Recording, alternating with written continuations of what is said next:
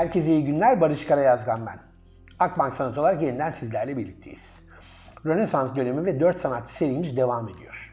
Rafael, Vatikan odaları ve Rönesans döneminin en genç ressamı videomuza hoş geldiniz. Rafael Sanzio da Urbino. Günümüzde bildiğimiz adıyla Rafael, 1483 yılında İtalya'nın ortasındaki ufak bir şehir olan Urbino'da doğdu. Babası Giovanni Santi, o şehrin düküne ressamlık yapan, onun adına maaşlı olarak çalışan bir ressamdı. Aynı zamanda da e, resim çalışmaları yaptırdığı bir atölyesi de vardı. Bu tabii ki Rafael için çok büyük e, önem sahibi oldu. Çünkü babası ufak yaşından itibaren Rafael'i resimle ve sanatla tanıştırdı. Ve devamlı babasının yanında resimler ve çizimler yaparak esasında genç yaşı, yaşları itibaren sanatla iç içe olan bir e, kişi olarak e, çocukluğunu geçirdi. Urbino o dönemde Rönesans döneminin e, ortasında tabii ki e, kültürel e, bir merkez olarak da önemli bir yere sahipti. Ve orada Rafael çocukluğunda babasının da etkisiyle ve tanınmasıyla birlikte hem asillerle hem zenginlerle birlikte iyi bir eğitim alarak kendisini hem bir sanatçı olarak hem de kültür olarak geliştirdi. Babası oğlunun bu sanata olan ilgisini de fark ettikten sonra 8 yaşındayken, çok çok erken bir yaş bu. Perugia'da e, o dönemin ustalarından, usta ressamlarından Perugino'nun atölyesinde ona asistanlık ve çıraklık yapması için götürüyor. E, ve bu tabii ki onun hayatında çok önemli bir dönüm noktası oluyor. Çünkü o atölyede Perugino'dan, ustasından, e, o usta ressamdan çok erken yaşta eğitim almaya başlıyor. Çok değişik teknikleri, özellikle fresko tekniği konusunda çok ciddi e, eğitimler alıyor ve kendisini geliştiriyor. E, ama ne yazık ki 11 yaşında babasını kaybettikten sonra Urbino'ya geri dönerek babasının atölyesini devralıyor ve onu e, yürütmeye devam ediyor. Hatta bazıları der ki babasından bile daha başarılı bir şekilde atölyeyi yürütmüştür diye söyledikleri de olmuş. E, tabii bu dönem e, onun için hem zor ama hem de e, çok e, özel bir dönem. Çünkü 17 yaşına geldiği zaman yaptığı işlerle e, artık usta sanatçı olarak anılmaya başlıyor. Ki 17 yaşındaki bir genç için çok çok özel bir durum bu. Bu arada bu genç yıllarında e, Perugino e, yanında çalışırken onun için şöyle bir şey söylenmiş. E, Perugino'nun çırakları ya da asistanlar arasında hiçbiri Rafael kadar ustasından çok şey öğrenmemiştir. Yani Rafael'in e, çok önemli bir özelliği esasında bu kadar erken yaşta ortaya çıkmış. Etrafından, ustalarından gerçekten çok çok iyi bir şekilde gözlemleyerek ve onlardan e, birçok güzel yönlerini alarak kendisini geliştirmeyi bilmiş. Bu şu anlama gelmemeli. Onların yaptığının aynısını yapmamış Rafael. Her zaman kendisinden özel e, olan, kendisine özel olan o stilini de o ustalardan aldıklarıyla geliştirmiş. Ve o kadar erken yaşta dediğimiz gibi biraz önce 17 yaşında usta sanatçı mertebesine erişmiş o dönemde. Ama bunu ustalarını dan öğrendiklerini direkt birebir yaparak değil, kendi stilini oluşturarak geliştirmiş bir sanatçı ki ileriki dönemde Leonardo da Vinci ve Michelangelo gibi sanat tarihinin en büyük e, iki sanatçısının ile tanışacak. Onların işlerini görecek. Onların karşısında ezilmeyerek onların yaptığı işlerden ve onlardan etkilenerek ve esinlenerek kendisini ve kendi özel stilini geliştirmeye devam edecek. Gençlik döneminde e, Urbino ve Perugia'da e, gitgellerle çalışmalarına devam eden e, Rafael 1504 yılında Floransa'ya gider ve Leonardo ile tanışır ve onun eserlerini görür ve çok tabii ki etkilenir. Ama onun ondan öğrendikleri ve etkili etkilenmeleriyle kendi stilini daha da ön plana çıkartmaya başlar. E, ve şunu da tabii ki e, bilmek lazım ki e, Rafael daha gencecik bir sanatçıyken e, Leonardo da Vinci ondan 31 yaş büyük ve bütün büyük ününü salmış ve Rönesans'a damgasını vurmuş bir halde. E, aynı zamanda ondan yine daha bir 8 yıl daha e, yaşlı olan, 8 yıl daha önde olan bir de Michelangelo var. O iki usta arasında da e, kendisini yavaş yavaş göstermeye başlıyor ama ilk olarak tabii ki Floransa'da Leonardo da Vinci'den etkileniyor. Özellikle iki şekilde ondan etkileniyor. Bir tanesi onun sfumato tekniği. Yani o renkler arasında, tonlar arasında o yumuşak geçişler ki e, Rafael bunu alarak e, yaptığı resimlerdeki özellikle e, insandaki tenin dokusunu daha gerçekçi yapmakta bu sfumato tekniğini çok çok iyi kullanmaya başlıyor. Ve gerçekten yaptığı resimler neredeyse gerçek gibi görünmeye başlıyor ki o dönem için ve kendi stilini oluşturması için çok önemli bir adım. Aynı zamanda Leonardo'dan etkilendiği e, başka bir yön ise onun kompozisyon ve kompozisyonu kurma şekli. Özellikle Mona Lisa'da kullanmış olduğu Leonardo'nun o üçgen e, kompozisyon yapısını e, Rafael de kullanmaya ve e, öğrendikten sonra geliştirmeye başlıyor. E, ki bu güzel bir e, örnek oluyor çünkü e, Rafael hayatı boyunca güzellikleri ve kadınları ve kadınların güzelliğini çok e, ilgi duyan bir kişi ve bunu eserlerinde de yansıtıyor. Hatta Rafael için e, yaptığı resimler arasında en özelleri ve uzun yıllar boyunca defalarca yaptığı hep Meryem Ana ve e, İsa resimleridir. Devamlı Meryem Ana resimleri çizer. Farklı farklı dönemlerde, farklı farklı şekillerde. Ve bunun birçoğunu Mona Lisa'dan ve Leonardo'dan o etkilendiği o üçgen kompozisyonunu da e, göz önüne alarak, onu kullanarak geliştirdiği ve yaptığı resim, resimlerden oluşur ki şu anda göreceğiniz birkaç tane Madonna resmi, e, Madonna diyorum ama Meryem Ana esasında resmi e, bu Rafael'in Leonardo da Vinci'den öğrendiklerini çok iyi bir şekilde kendi stilini de katarak uyguladığının çok güzel örnekleri elbette. Bu arada bu e, hayatı boyunca defalarca yaptığı, farklı şekillerde yaptığı Meryem Ana resimlerinde, e, tabi Meryem Ana'yı tek başına da yapmıyor, devamlı İsa ile birlikte o, e, yapıyor tabi doğal olarak. Resimlerinde şunu da görüyoruz ki Rafael çok aşırı çalışkan ve çok planlı çalışan bir sanatçıydı. Çünkü e, şimdi de göreceğiniz gibi e, bu Meryem Ana resimleri için sayısızca çizimler, eskizler ve taslaklar yaptı. E, ve bunları yaparken e, kompozisyon aynı zamanda figürlerin duruşu ki burada Leonardo'nun etkilerini de görüyoruz. O kontrapoz e, denilen bir poz yani ağırlığın bir tarafa doğru yönelmesi ve e, bir şekilde de e, hareketli yani daha sanki hareket ediyormuşçasına görüş, görünen figürleri yapmasında da e, çok ciddi etkileri oldu bu ön çalışmaların ve bunun sonrasında tabii ki bu ön çalışmaların hepsi yapılan eserlerinde çok daha özel ve çok daha gerçekçi ve onun istediği şekilde canlı göstermesini de e, sağladı diye düşünüyorum. Floransa'da bu arada geçirdiği bu dönem e, sırasında e, Perugia'da yeniden bir iş teklifi geldi ve bir dönem oraya gidip e, bir iş yaptı. Bu işin de enteresan bir hikayesi var. Perugia'daki önemli ailelerden bir tanesi olan Baglioni ailesinden Atlanta Baglioni yani ailenin annesi e, öl, öldürülen oğluna e, yönelik e, bir resim yaptırmak istedi. Ve bunun için de Rafael'i davet etti. Ve resim esasında hikayesi şöyle bir dönem daha doğrusu Rafael'in de esasında Perugia'da olduğu dönemde Perugia e, çok karışık e, bir dönem yaşıyordu. Farklı farklı güçlü aileler kendi aralarında çatışıyorlar. Hatta bazen bazı aile kendi içlerinde de çatışıyordu. Ve e, Baglioni ailesinde de e, Atalanta'nın oğlu kendi aile bireylerinden bazılarını öldürmek e, öldürmüştü ve bundan dolayı da bu sefer de onu öldürttü aile. Yani kendi aile kendi içerisinde birbirlerini ne yazık ki öldürüyor. E, ama annesi bundan dolayı hayatı boyunca hep suçluluk duymuş e, çocuğunun öldürülmesinden dolayı ve e, o dönemde de usta sanatçı olan e, ve tanıdıkları Rafael'i yeniden davet ediyor ve oğlu adına e, özel bir e, çalışma yapmasını istiyor.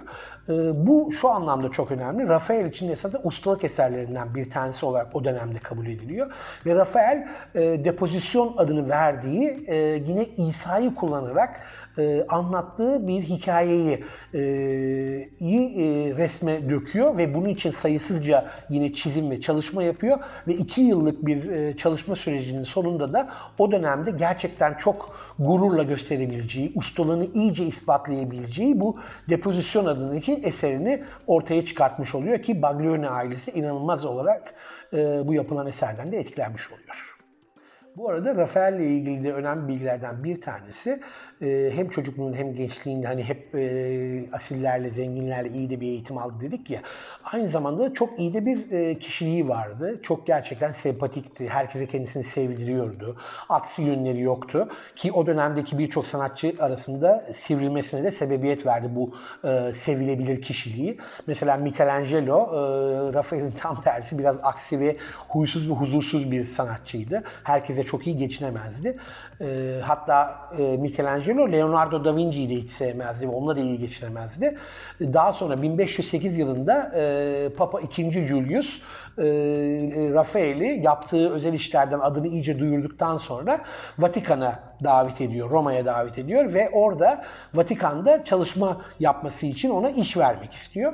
E, ve aynı dönemde de Michelangelo da orada ve tabii ki tanışıyorlar doğal olarak. Hatta Rafael Michelangelo'dan çok etkileniyor. E, ve bu dönemde tabii ki Sistine Şapeli'ndeki Michelangelo'nun e, şapelin tavanına yaptığı esere denk geliyor. O döneme denk geliyor. Çünkü aynı aynı dönemde e, bu sefer e, e, Rafael de yine e, Sistine Şapeli'nde e, önce bir tane oda içerisinde fresko yapmakla görevlendiriliyor ki bu büyük bir risk çünkü gencecik bir sanatçı 26-27 yaşında bir sanatçı ama usta olarak ün salmış ama yine de çok genç. E, karşısında e, Michelangelo var. Ondan 8 yaş daha büyük ve 8 yıl daha fazla tecrübeli ve ünlü. E, yanlarında bir de Leonardo da Vinci var ki o 31 yaş daha büyük. E, tabii bu şekilde e, bir e, iş alması Rafael için çok çok önemli. Ve Rafael bu odaya e, o kadar başarılı bir e, çalışma yapıyor ki e, yaptığı çalışmadan bir tanesi Atina Okulu en önemli çalışmalarından bir tanesi. E, eski e, antik Yunan'daki filozoflardan yola çıkarak e, yapılan bir e, resimden bahsediyoruz. Zaten Atina Okulu adı da o döneme de gönderme yapıyor. Ve bu eser o kadar etkiliyor ki Papa II. Julius'u. Bunun dışında yani Sistine Şapeli'ndeki öbür odaları ki üç tane daha oda var ve başka sanatçılarla orada çalışmayı yapmış olmasına rağmen Papa II. Julius o, o odaları da Rafael'in yapmasını istiyor. Bu çok büyük bir onur tabii ki e, onun için. Ve tabii ki bu dönemde aynı anda Sistine Chapel'de tavanda da Michelangelo çalışıyor. Ve e, Michelangelo bu durumdan da rahatsız. E, Rafael'i zaten sevmiyor. E, genelde de birçok insan anlaşamayan bir kişi. Hatta şey düşünüyor hem Rafael hem de Papa e, Michelangelo'yu biraz e, kötülemeye çalışıyorlar gibi düşünüyor. E, ama bu arada Rafael de Michelangelo'dan çok etkileniyor. Sistine Şapeli eserinden de çok çok etkileniyor. Hatta bazıları der ki Atina Okulu'nda bu Rafael'in en önemli eserlerinden bir tanesi. Atina Okulu'nda e, Michelangelo'dan etkilendiği için Michelangelo'yu da sonradan o eserini etkilediğini söyle, e, eklediğini söyle, söylerler. E, tam kompozisyonun önünde e, bir e, parçaya dayanmış olan e, ve bir yazı yazan, biraz mutsuz, biraz kızgın görünen ki Michelangelo'yu da güzel de anlatan bir e, durum, e, görünen bir adam var. E, hatta birçok sanat tarihi incelemelerinde o adamın e, eser bittikten sonradan etki, eklendiğini düşünüyorlar ki bu dönemde tam Rafael'in e, Michelangelo'nun Sistine Chapel'in yaptığı eserini görüp ondan çok etkilenmesi ve onu onure etmek için Atina okuluna o büyük filozofların yanında onu da eklediğini düşünerek yaparlar. E, Atina Okulu ile ilgili şöyle özel bir durum da var. E, o muhteşem eserinde e, kendisini de o eserin içerisine eklediğini söylerler. Yani o kadar memnun ki Rafael eserinden kendi portresinde oradaki e, figürlerden bir tanesine vererek kendisini de eserin içerisine koyduğunu e, söyleyen e, sanat tarihçiler de var. Şimdi bu, bu döneme ait birkaç e, tane daha bilgi vermek istiyorum. Stanza della Signatura bu Rafael'in ilk yaptığı oda, Rafael odası olarak da adlandırılan oda, Atina Okulu'nun e, freskosunun bulunduğu oda. E, ve e, bu odada e, aynı zamanda e, başka eserleri de var tabii ki. Ama bu odayı yaptıktan sonra öbür odaları da yapması Rafael üzerinde tabii çok büyük bir iş yükü de getiriyor ve e, bunu kaldırabilmek için çok sayıda asistan ve çırağı da oluyor Rafael'in ve bu ilk odanın sonrasındaki öbür üç odayı da yine Rafael öncülüğünde ama daha çok asistanları ve çırakları tarafından yapıldığı söylenir ki e, zaten bu o dört oda karşılaştırıldığında bu ilk oda Atina bulun e, oda e, Atina okulunun bulunduğu odada en ünlü ve en e, itinalı ve özel yapılmış e, oda olarak da ön plana çıkmıştır. Ve Michelangelo ile olan bir e, ilişkisiyle ilgili bir minik bir dipnot da vermek isterim. Michelangelo Rafael'den o kadar çok e, e, rahatsız oluyor ki e, onu biraz da e, aşağılamak için şöyle bir söz söylediğini söylerler. E, e, direkt Rafael'in yüzüne karşı Michelangelo sanatla ilgili öğrendiğin her şeyi zaten benden e, öğrendin e, dediğini söylerler. E, bu da onun hem yaşlı büyük olarak hem biraz da ustası olarak onu aşağılamaya çalıştığı bir yaklaşım olarak da algılanır. Ama tabii ki Rafael e, elbette Michelangelo'dan, elbette Leonardo da Vinci'den çok etkilendi. Onlardan birçok şey öğrendi ama kendi stilinde ortaya çıkartıp kendisine özel, çok özel eserler yaratmış da bir sanatçı elbette.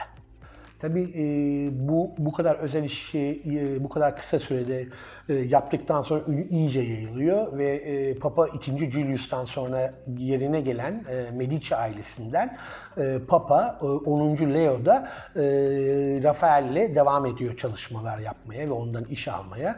E, hatta e, aynı dönemde Vatikan'ın baş mimarı hayatını kaybediyor ve bu sefer Rafael baş mimar olarak ki bu arada aynı pozisyon için şey Michelangelo da düşünülürken ondan 8 yaş büyük olan Michelangelo düşünürken Rafael'e veriyorlar. Ondan çok etkilendikleri için e, Vatikan'da bu pozisyonu ve e, bir süre Vatikan'ın baş mimarı olarak da çalışıyor ve birçok eser, birçok yeni binanın, kilisenin yapımında, tasarımında çalışıyor. Hatta St. Peters e, bazilikasının bir kısmının tasarımı da Rafael'e ait. E, yani sadece resim olarak değil ama aynı zamanda mimari e, çalışmalar gibi mimarlık da yapmış bir yine çok yönlü bir sanatçı var karşımızda. Hatta şunu da söylerler. Mimarlık yaptığı dönemde bu Atina Okulu'nda yaptığı eserde o büyük freskoda bu mimarlıkta yaptığı eserlerden örneklerin olduğu söylenir. Yani Atina Okulu'nu incelerseniz oradaki o derin perspektif içerisinde oradaki farklı yapılar artık e, bu mimari e, yeni yaptığı binalarda da ortaya çıkar ki e, Papa 10. Leo'nun e, kendisi için istemiş olduğu e, bir saray ki çok özel bir e, saray inşa eder onun için. O Atina Okulu'nda çizilmiş bazı öğelerin o sarayda da olduğu ya da onunla bağlantılı olduğu da söylenir. E, ve e, bu zaten Rafael'in gerçekten çok özel bir sanatçı olduğunu da yeniden ortaya koyan güzel güzel bir örnek. E, tabii bu arada bu kadar ünlü, çok iyi de bir hayatı var, zengin de bir hayat yaşıyor en başından beri e, Rafael ve e, eğlenmeyi de seviyor. E, ama ne yazık ki çok ani bir şekilde, çok genç yaşındayken, 1520 yılında daha 37 yaşındayken e, hayata e, bir hastalık sonucunda aniden gözlerini yumuyor. Ee, ve çok kısa bir e, dönemde çok sayıda iş yaparak e, ve dünya sanat tarihinde çok büyük izler bırakarak e, hayata gözlerini yummuş bir sanatçıdan bahsediyoruz. Burada şöyle bir karşılaştırma yapmak istiyorum. Birçok kişi e, Rafael'i doğal olarak o dönemin çok önemli sanatçıları olan Michelangelo ve Leonardo da Vinci ile karşılaştırıyorlar ama şöyle bir durum var. E, Leonardo da Vinci'den e, nerede bakarsanız bakın e, yarısı kadar yaşamış bir sanatçı var karşımızda. Rafael, onun 37 yaşında ölmesiyle. E, Michelangelo, Rafael'den 3 e, kat daha uzun yaşadı.